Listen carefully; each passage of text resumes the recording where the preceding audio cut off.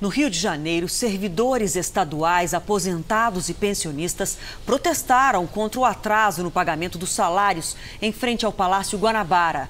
Eles estão há três meses sem receber salário e o 13º de 2016.